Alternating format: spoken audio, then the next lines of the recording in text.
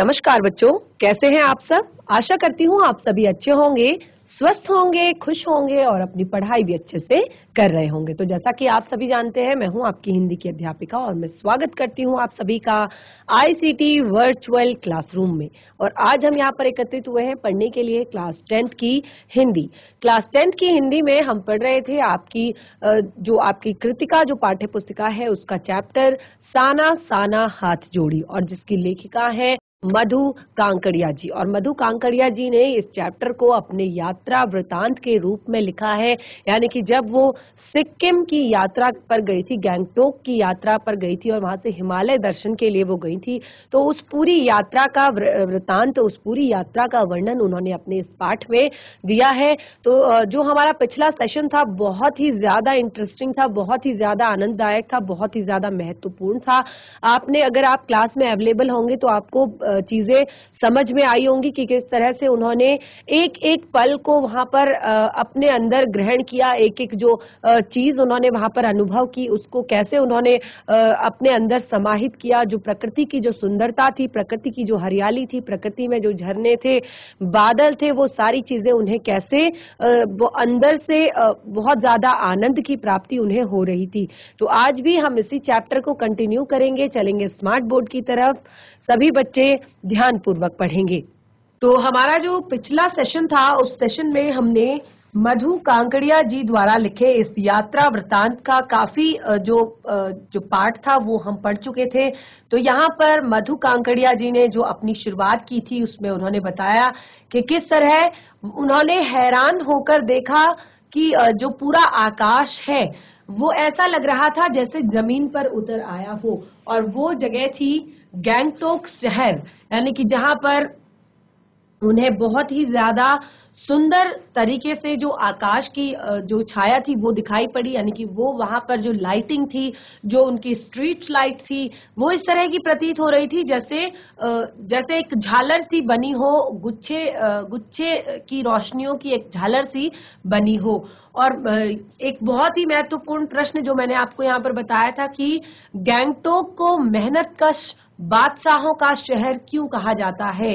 तो यहाँ पर इसका उत्तर भी हमने देखा था कि बादशाहों का वह शहर था जिसका सब कुछ सुंदर था। सुबह, शाम, रात और वह रहस्यमयी सितारों भरी रात मुझमें सम्मोहन जगा रही थी, लेखिका कहती है। और कुछ इस कदर उन जादू से भरे क्षणों में मेरा सब कुछ स्थगित तथा अर्थहीन था मैं, मेरी मैं मेरी चेतना मेरा आसपास मेरे भीतर बाहर सब शून्य था। यानी कि वो जो सुंदरता थी वो जो सुंदरता भरी जो रोशनी थी वो लेखिका को बहुत ही ज़्यादा आनंद प्रदान कर रही थी बहुत ही ज़्यादा सुख उन्हें दे रही थी। तो इस तरह उन्होंने कहा सुबह हम यूम थांग के लिए निकल पड़ना था और यूम थांग का उन्होंने यहाँ पर अर्थ बताया था कि जो यहाँ पर यूम थांग के लिए उन्होंने बताया था कि ऐसी जगह जो बहुत ही ज़्यादा पहाड़ों से घिरी हो और उन्होंने कहा आँख खुलने पर जब मैं बालकनी की तरफ़ भागी और यहाँ पर मुझे लोगों ने बताया था कि मौसम अगर साफ़ हो तो बालकनी से भी जो कंचनजंगा पर्वत है वो दिखाई पड़ता है। लेकिन वो कहती हैं कि बादल से बादल जो है हल्के हल्के आसमान जो है वो हल्के हल्के बादलों से ढका हुआ था और पिछले वर्ष की ही की ही तरह इस बार भी बादलों के कपाट, ठाकुर जी के कपाट की तरह बंद ही रहे थे। और बहुत ही उन्होंने एक महत्वपूर्ण बात यहाँ पे बताई कि बहरहाल जब वो गैंगटॉक से 149 किलोमीटर की दूरी यूमथांग जहाँ पर वो थे यूम जो घाटियाँ यूमथांग की थी, वो हिमालय की गहनतम घाटियाँ और फूलों सी, फूलों से लदी वादियाँ वहाँ पर थी। और उन्होंने कहा जगह जगह पर दर्राइये पाइन और धूपी के खूबसूरत नुकीले पेड़ों का जायजा लेते हुए जब वो उस रास्ते पर आगे बढ़ने लगे तो एक जगह दिखाई दी और एक कतार में लगी हुई सफ़ेद सफ़ेद बौद्ध पताकाएँ।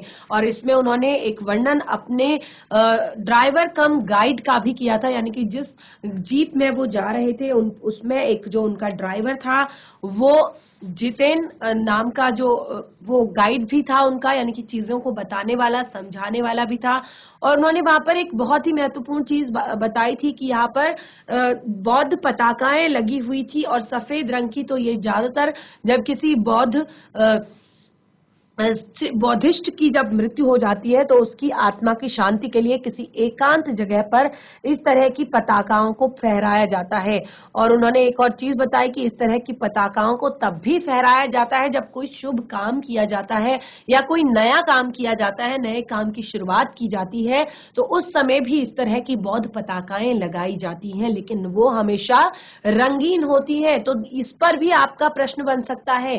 देखिए, व्हाइट पताकाएँ कब लगाई जाती जाती हैं व्हाइट पताकाएँ लगाई जाती हैं जब किसी बुद्धिस्ट की मृत्यु होती है। उस समय पर सफ़ेद पताकाएँ लगाई जाती हैं और रंगीन पताकाएँ नए काम की शुरुआत के समय पर लगाई जाती है।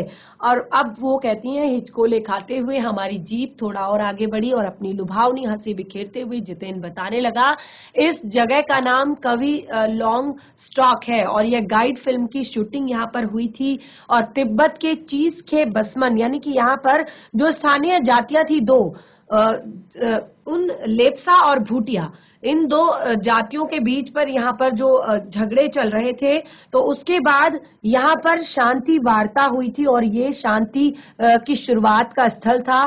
तो इसीलिए वहाँ पर उन्होंने कहा कि इस जगह को इस चीज़ चीज़ की वजह से जाना जाता है। और एक और चीज़ उन्होंने बताई कि रास्ते में उन्होंने एक कुटिया के भीतर एक घूमता हुआ चक्र देखा और जिसको देखकर जो नारगे है, यानी कि उनका जो ड्राइवर है, वो बताता है कि मैडम, ये धर्म चक्र है और इसे प्रेयर व्हील कहते हैं और इसको घुमाने से सारे पाप धुल जाते हैं। तो यहाँ पर लेखिका कहती है कि आज के समय में भी चाहे मैदान हो, चाहे पहाड़ हो, तमाम वैज्ञानिक प्रगतियों के बावजूद भी हमारे देश की जो आत्मा है, वो एक जैसी है। यानी कि हमारे देश के लोगों के मन में जो एक, अपने देश की संस्कृति जो है, वो बनी हुई है। लोगों की आस्थाएँ, विश्वास, अंधविश्वास, पाप पुण्य की अवधारणाएँ, कल्पनाएँ सब एक जैसी है और यही हमारे देश को बनाता है अनेकता में एकता का एक महान उदाहरण।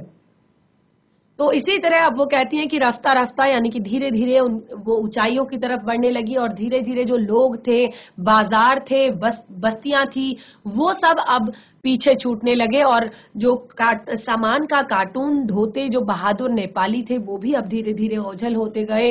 अब घर जो है, वो इन पहाड़ की जो वादियाँ थी, पहाड़ जो थे, उन पर ऐसे जैसे ताश के पत्तों के घर होते हैं, ऐसे छोटे छोटे दिखाई देने लगे, क्योंकि काफ़ी ऊंचाई पर वो चले गए थे। अब वो कहते हैं कि जो पहाड़ अभी तक छोटी छोटी पहाड़ियों के रूप में दिखाई दे रहे थे, अब अपने विराट रूप और वैभव के साथ हमारे सामने आने वाले थे। थे। और न जाने कितने दशकों और यात्रियों दर्शकों और यात्रियों और तीर्था तनियों का काम्य हिमालय, काम्य यानी कि सम्मोहित करने वाला को, दर्शकों को, यात्रियों को, तीर्थाटनियों को सम्मोहित करने वाला जो हिमालय था, ये अब पल पल परिवर्तित हो रहा था, यानी कि हमारे और नज़दीक आ रहा था। और देखते देखते वो कहती हैं, संक्रे वीरान रास्ते, जलेबी की तरह अब ये घुमावदार होने लगे थे। हिमालय अब बड़ा बड़ा होते होते विशाल काय हो गया था। और घटाएँ अब गहराती पाताल नापने लगी थी। यानी कि ऐसा लग रहा था, मानो हम आकाश में पहुँच गए हैं, बादलों ने धरती को छू लिया है और वादियाँ जो है वो चौड़ी हो गई। और बीच बीच में करिश्मे की तरह रंग बिरंगे फूल शिद्दत से मुस्कुरा मुस्कुराने लगे और भीमकाय पर्वतों के बीच घाटियों के ऊपर बने संकरे कच्चे पक्के रास्तों से गुजरते तो यूँ लग रहा था जैसे हम किसी सघन हरियाली वाली गुफा के बीच हिचकोले खाते निकल रहे हों। और एक ये दृश्य जो है, लेखिका ने यहाँ पर अपने पाठ में प्रदर्शित किया है हमारे लिए। तो आगे बताती है, इस बिखरी असीम जो सुंदरता है, इस सुंदरता को का प्रभाव सभी सैलानियों के मन पर प्रभाव पड़ा और उन, वो गाने लगे, सुहाना सफ़र और ये मौसम हँसी और वो कहती हैं, लेकिन मैं शांत थी।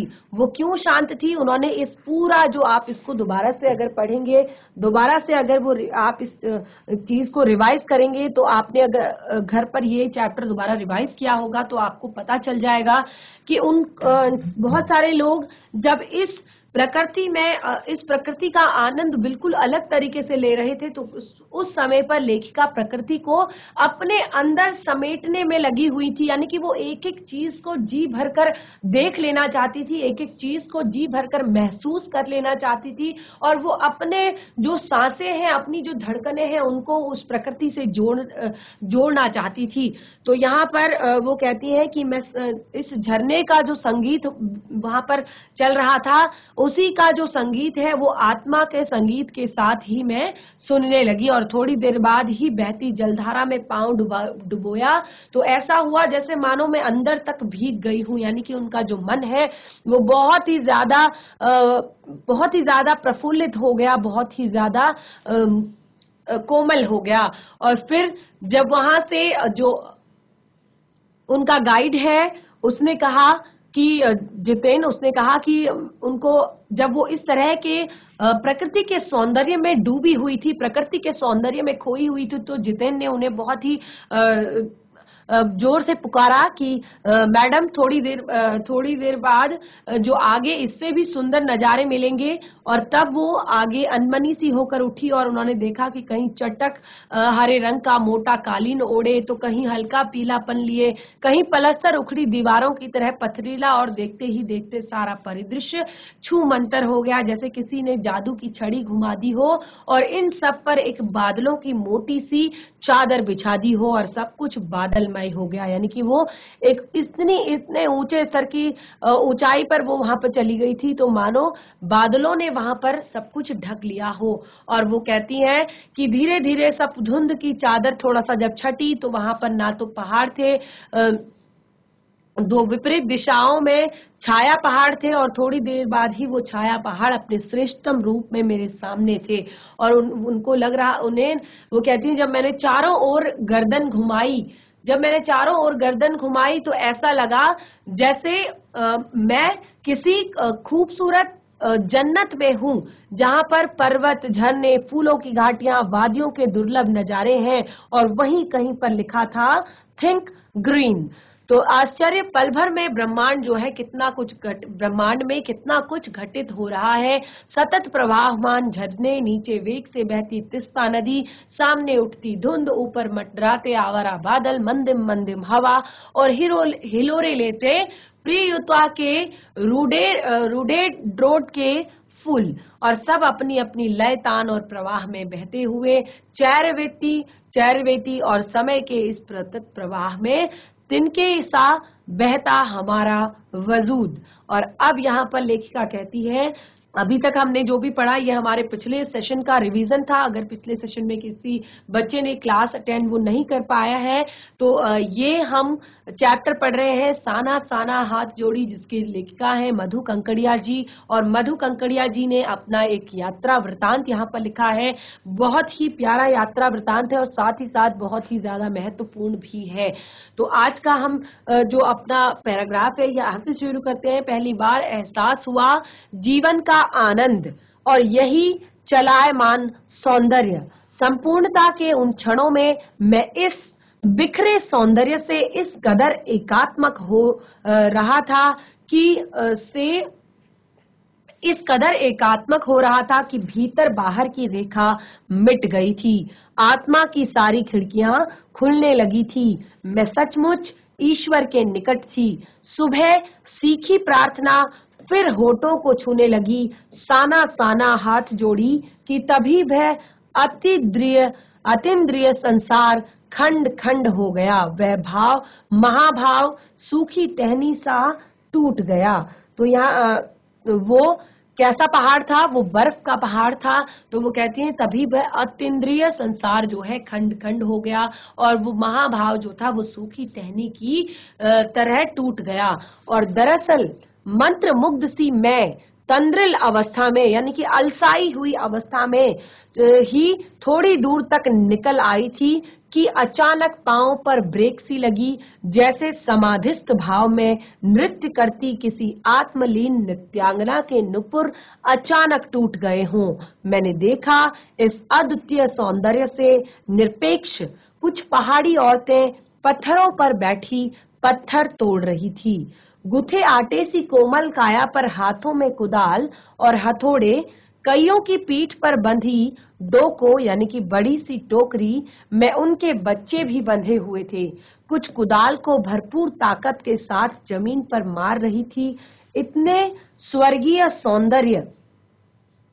अब यहाँ पर लेखिका कहती हैं कि इतने स्वर्गीय सौंदर्य, नदी, फूलों, वादियों और झरनों के बीच भूख, मौत और दैन्य और ज़िंदा रहने की यह जंग, मातृत्व और श्रम की साधना के साथ साथ वहीं पर खड़े बीआरओ, यानी कि बोर्ड, रोड ऑर्गेनाइजेशन के एक कर्मचारी से मैंने पूछा, यह क्या हो रहा है? तो यहाँ पर क्योंकि अभी तक वो इस प्रकृति का आनंद लेने में मुग्ध थी, इस प्रकृति का आनंद ले रही थी, लेकिन अभी एक अचानक से एक नया ही दृश्य उनको वहाँ पर दिखाई दिया कि इस स्वर्गीय सौंदर्य, यानी कि जितना स्वर्ग सुंदर होता है, उतना ही सुंदर ये नज़ारा यहाँ पर था। नदी थी, फूल थे, बहुत ही सुंदर वादियाँ थी, झरने थे और इसी बीच थी भूख, मौत और दैन्य और ज़िंदा रहने की ये जंग जो उन महिलाओं में दिखाई दे रही थी, मातृत्व और श्रम साधना के साथ साथ फिर वो कहती है कि वहीं पर खड़े बीआर बीआरओ यानी कि बोर्ड रोड ऑर्गेनाइजेशन के एक कर्मचारी से मैंने पूछा कि यह क्या हो रहा है? तो उसने उसने चुहलबाजी के अंदाज में बताया, जिन रास्तों से गुजरते हुए आप हिम शिखरों से टक्कर लेने जा रही है उन्हीं रास्तों को ये पहाड़ने चौड़ा बना रही है। यानी कि जो वहाँ पर महिलाएँ थी, वो कामगार महिलाएँ थी जो उन रास्तों के चौड़ीकरण का काम करने के लिए उन पत्थरों को वो नाप तोल कर काट कर तोड़ कर बड़ा कर रही थी, रोड को चौड़ा करने के लिए वो उस लायक बना रही थी। बड़ा खतरनाक होगा यह कार्य। मेरे मुँह से अकस्मात निकला, वह संजीदा हो गया और कहने लग लगा। पिछले महीने तो एक की जान भी चली गई थी। बड़ा दुसाध्य कार्य है पहाड़ों पर रास्ता बनाना। पहले डायनामाइट से चट्टानों को उड़ा दिया जाता है और फिर बड़े बड़े पत्थरों को तोड़ मोड़ कर एक आकार के छोटे पत्थरों में बदला जाता है। और फिर बड़े से जाले में उन्हें लंबी पट्टी की तरह बिठाकर कटे रस्तों पर बाड़ी की तरह लगाया जाता है। जरा सी चूक और सीधा पाताल प्रवेश। तो क्योंकि ज़्यादातर हमारा जो उत्तराखंड है, वो भी पहाड़ी और दुर्गम क्षेत्रों से भरा हुआ है। तो यहाँ पर भी आप देखते होंगे कि आप देखते हैं पिथौरागढ़, अल्मोड़ा, बागेश्वर, टिहरी, पौड़ी चमोली।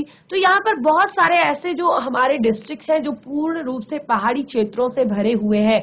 तो कई बार आपने देखा होगा कि यहाँ पर भी इस तरह की आपदाएँ आ जाती हैं, इस तरह की परेशानियाँ हो जाती हैं कि जिसमें कई लोगों को जान माल से हाथ धोना पड़ता है। तो बहुत ही ज़्यादा मेहनत का काम होता है पहाड़ों पर रोड बनाना, पहाड़ों पर रोड को के चौड़ीकरण का काम। तो उन्होंने कहा कि और मुझे ध्यान आया कि इन्हीं रास्तों पर एक जगह सिक्किम सरकार का बोर्ड लगा था, जिस पर बड़े बड़े अक्षरों में लिखा था ever wondered who defied death to build these roads, यानी कि आप ताज्जुब करेंगे, इन रास्तों को बनाने में लोगों ने मौत को झुठलाया है। तो ये था एक सिक्किम सरकार का बोर्ड वहाँ पर लगा था कि जो यात्रीगण बाहर से आए, उन्हें भी पता चले इस रोड को बनाने वाले लोगों की मेहनत, इस रोड को बनाने वाले लोगों का काम, इस रोड को बनाने वालों की लगन और उनका, उनकी जो मजबूरी है, यानी कि ever ended ever wondered who defined death to build these roads यानी कि आप ताज्जुब करेंगे कि इन रास्तों को बनाने में लोगों ने मौत को झुटलाया है। एकाएक मेरा मानसिक चैनल बदला और पीछे घूम गया मन पीछे घूम गया। मन पीछे घूम गया। इसी प्रकार एक बार पलामू और गुम, गुमला के जंगलों में देखा था पीठ पर बच्चे को कपड़े से बांधकर पत्तों की तलाश में वन वन डोलती आदिवासी युवतियाँ। पहाड़ का जो जीवन है, वो बहुत ही ज़्यादा कठिन होता है। पहाड़ पर लोग सर्दी और ठंड किसको झेलते हुए अपने जीवन को किस तरह से व्यापन करते हैं, अपना जीवन किस तरह से बिताते हैं, साथ में अपने जो अपने काम से वो किस तरह से अपनी मेहनत से वो किस तरह से अपना पेट पालते हैं, वो यहाँ पर बताया गया है। उन आदिवासी युवतियों के जो पाँव हैं, वो फूले हुए और और इन पत्थरों की पहाड़ों के हाथ में पड़े ठाठे। तो यहाँ पर देखिए, इस तरह से वहाँ पर रोड का निर्माण किया जाता है। आप देखिए, इस तरह से पत्थरों को यहाँ पर लगाया गया है बिल्कुल तरीके से। साइजिंग बिल्कुल उनको एक तरीके से तोड़कर छोटे आकार में बदला गया है और उनको इस तरह से यहाँ पर लगाया गया है ताकि अगर अगर इस तरह से उसको रोका ना जाए तो ये सारा जो है एक साथ ही नीचे बहकर आ जाएगा पानी के अधिक वेग से। तो कई जगह पर इस तरह की बाढ़ जो है लगाई जाती है। इस तरह से पानी को पानी का जो रास्ता होता है या रोड जो होती है उसको व्यवस्थित किया जाता है पहाड़ों पर। तो यहाँ पर लेखिका कहती है कि जो पत्ते ढूंढती, जो महिलाएँ थी जिन्होंने अपने बच्चों को पीठ पर लाद रखा था तो उनके पाँव फूले हुए थे, जो उनकी मेहनत को बता रहे थे और यहाँ पर पत्थर तोड़ती ये जो पहाड़ने हैं, इनके हाथ में जो ये ठाठे पड़े हैं, ये एक ही कहानी कह रहे हैं और वो कहानी क्या है? वो कहानी है आम जिंदगियों की कहानी हर जगह एक सी है। आम जिंदगियों की कहानी जो है, वो हर जगह एक ही है कि सारी मलाई एक तरफ़, सारे आँसू अभाव, यातना और वंचना एक तरफ़। और तभी मेरी सहयात्री मणि और जितेन मुझे खोजते खोजते वहाँ तक आ गए थे। मुझे गमगीन देखकर जतिन कहने लगा, मैडम, ये मेरे देश की आम जनता है। इन्हें तो आप कहीं भी देख लेंगी। आप इन्हें नहीं, पहाड़ों की सुंदरता को देखिए, जिसके लिए आप इतने पैसे खर्च करके आई है। तो मणि और जितेन जो है, फिर क्योंकि वो काफ़ी, वो कहती है, मैं मंत्र मुग्ध सी होकर इन्हीं लोगों के बारे में सोचते सोचते काफ़ी जब आगे निकल गई थी, जहाँ पे उन्हें ये लोग मिले तो वहाँ पर जितेन और मणि, उनकी जो सहयात्री थी, उन्हें खोजते खोजते पहुँचे और उन्होंने कहा, जितेन ने कहा कि मैडम, ये तो हमारे देश की आम जनता है। यानी कि ये असल में हमारे देश का सत्य यही है। हमारे देश की आम जनता ये है तो इन्हें तो आप देश में कहीं भी देख लेंगी। लेकिन यहाँ आप पहाड़ों की सुंदरता देखने आई हैं, इतने पैसे खर्च करके आई हैं तो आप पहाड़ों को देखिए। ये देश की आम जनता ही नहीं, जीवन का, के प्रति संतुलन भी है। ये वेस्ट एंड रिपेयरिंग है। इतना काम कर इतना काम लेकर ये समाज को कितना अधिक वापस लौटा देती है। मन ही मन सोचा मैंने। हम वापस जीप की ओर मुड़ने लगे। तभी मैंने देखा विश्रम सुंदरिया किसी बात पर इस कदर खिलखिला कर हंस पड़ी थी कि जीवन लहरा उठा और वह सारा खंडहर ताजमहल बन गया और वो कहती हैं कि जब हम जीप की तरफ़ आगे बढ़ रहे थे तो तभी वो सारी जो श्रम सुंदरियाँ थी, जो काम कर रही थी महिलाएँ, यहाँ पर बताया कि वो आटे की तरह गुंदी हुई, सुंदर मुलायम उनके जो कोमल हाथ थे, कोमल शरीर थे। अब वो कहती हैं कि वो श्रम सुंदरियाँ इस बात पर, किसी बात पर वे इस कदर खिलखिला कर हंस पड़ी कि सारा जीवन जो है, वो ठहर गया और सारा खंडहर ताजमहल बन गया। हम लगातार ऊंचाइयों पर चढ़ते जा रहे थे। अब लेखिका आगे बढ़ी और कहती है कि हम लगातार ऊंचाइयों पर चढ़ते जा रहे थे और जितेन बता रहा था कि अब हम हर मोड़ पर हेयर पिन बेल्ट बेल्ट लेंगे और तेज़ी से ऊंचाई पर चढ़ते जाएँगे।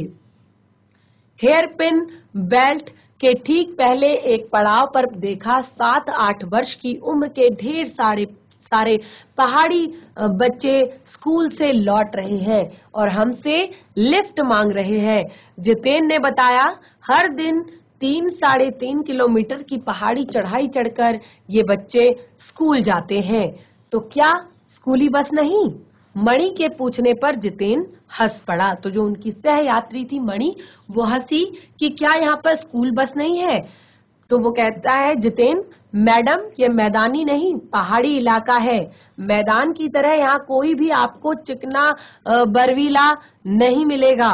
यहाँ जीवन कठोर है, नीचे तराई में ले देकर एक ही स्कूल है और दूर दूर से बच्चे उसी स्कूल में जाते हैं। और सिर्फ़ पढ़ते ही नहीं, इनमें अधिकांश बच्चे शाम के समय अपनी माओ के साथ मवेशियों को चराते हैं।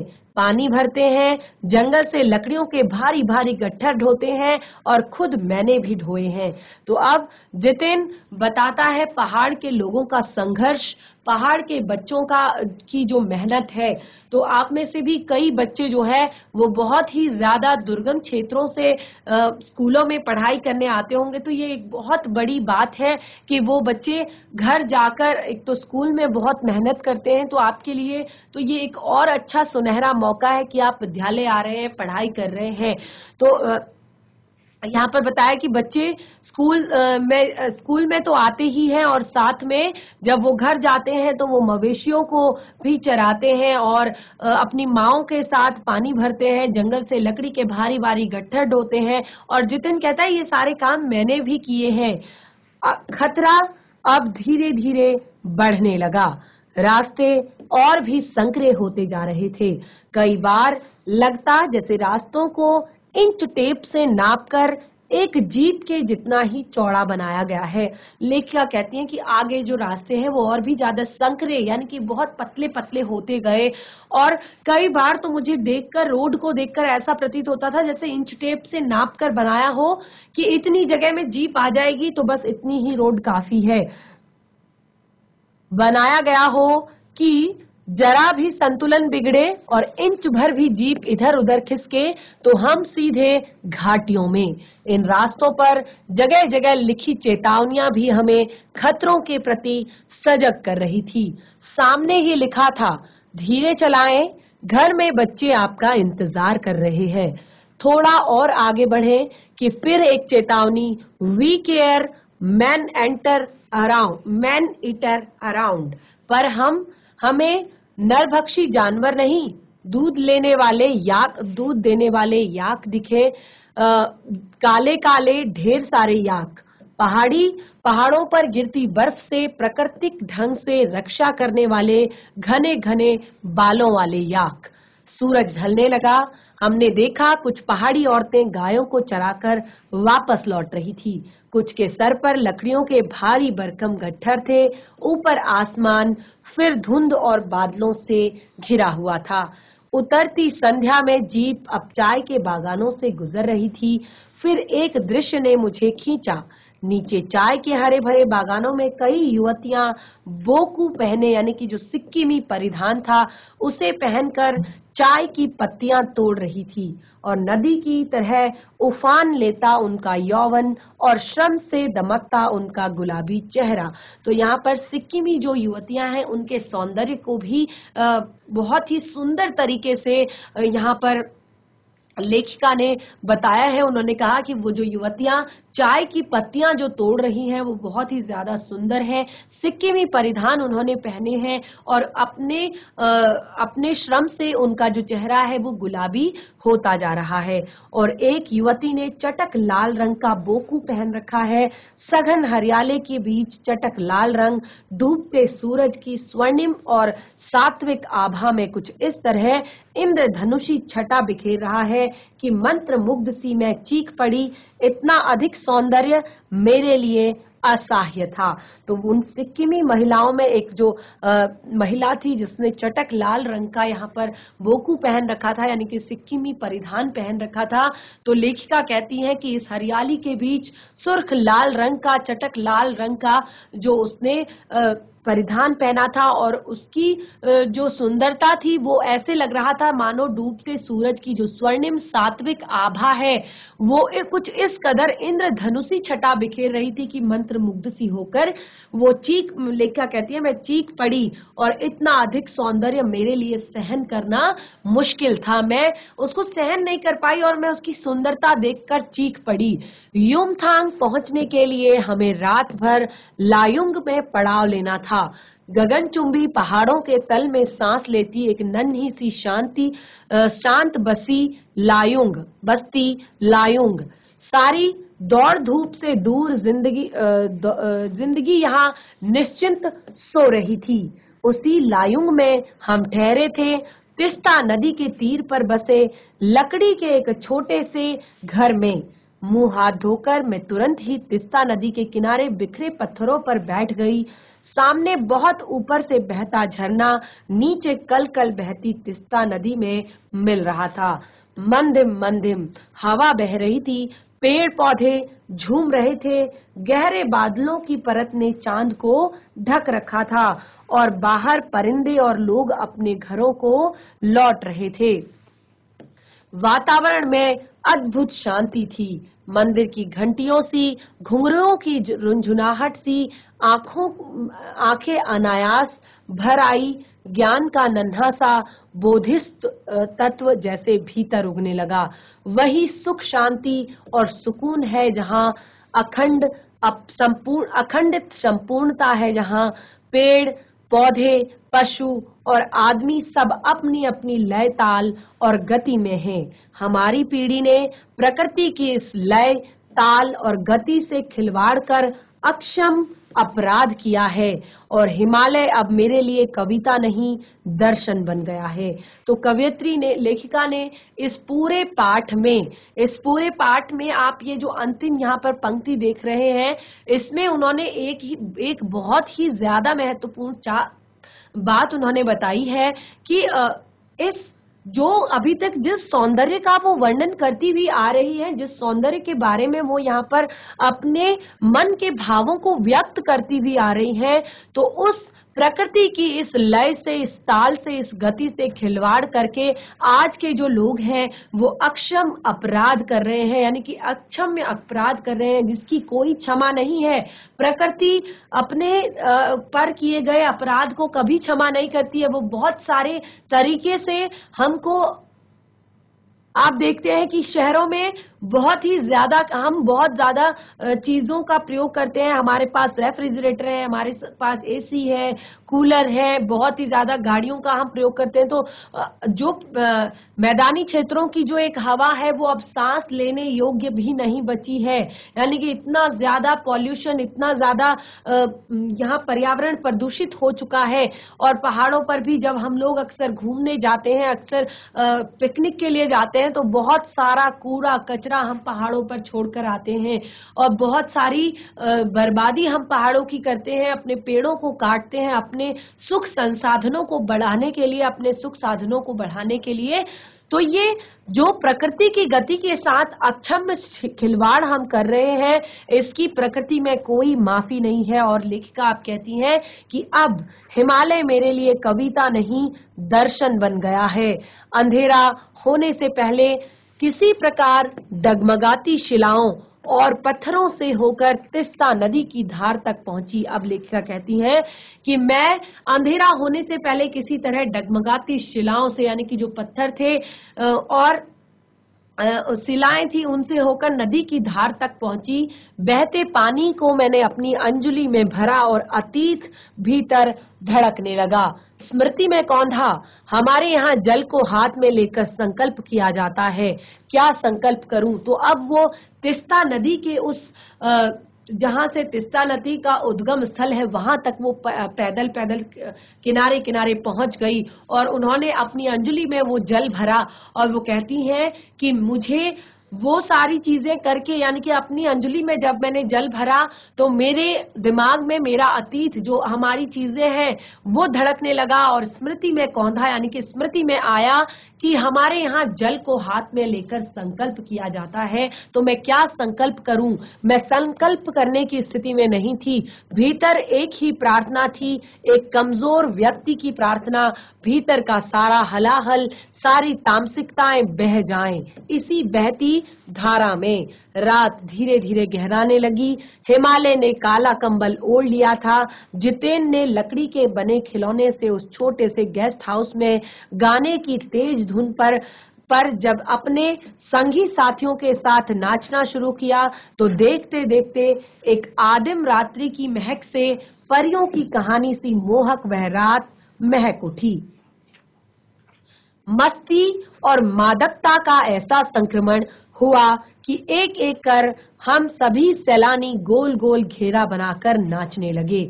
तो अब यहाँ पर रात्रि को उन्होंने जो जतिन था उसने जितेन जो था, उसने बोन फायर वहाँ पर किया, यानी कि लकड़ियाँ वहाँ पर इकट्ठी की, आग जलाई और उसके बाद गेस्ट हाउस में जो एक छोटा सा जो खिलौने सा बना हुआ एक गाना बजाने का जो यंत्र था, उस पर उन्होंने उसने गीत बजाए बजाए और सारे जो उनके साथी थे सह यात्री थे, वो सब नाच, और अपने सह अपने जो साथी थे, उनके साथ उसने नाचना शुरू किया, और धीरे धीरे जो ये रात्रि थी, वो आदिम रात्रि से परियों की कहानी सी मोहक वह रात महक उठी। यानी कि अब लगा कि वहाँ पर कुछ लोग हैं, और वो जैसे मानो परियों की कहानी चल रही हो, ऐसी वह रात मोहक हो गई, सुंदर हो गई। और सभी लोगों का जो मन था वो मस्त हो गया, मादकता में चूर हो गया, यानी कि नृत्य का नशा सब पर चढ़ गया और ऐसा हुआ कि वो एक एक करके सभी सैलानी जो थे